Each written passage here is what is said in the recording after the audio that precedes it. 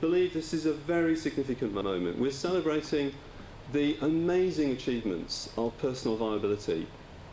Uh, a homegrown, very successful, life-changing experience that's now successfully exported to other parts of the Pacific, to other nations, to Malaysia. And none of this, again, would have been possible without the vision of one man, Samuel uh, Tam, who's sitting on my right, and again, the patronage of uh.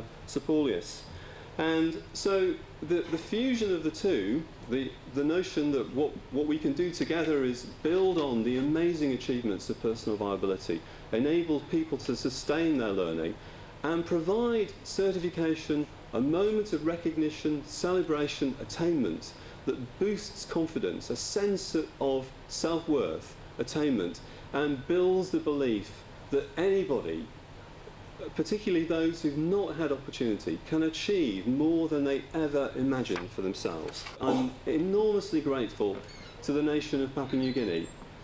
Uh, we, could, we could not have created GULL if PNG hadn't said, we'll support this initiative. And our vision for the next year or so is 100,000, maybe 500,000 people uh, who would otherwise have had no hope, no prospect being able to benefit through the partnerships like the one we're celebrating today with PV around the globe. And that all started here in Papua New Guinea. Thank you very much. God bless Papua New Guinea. Thank you.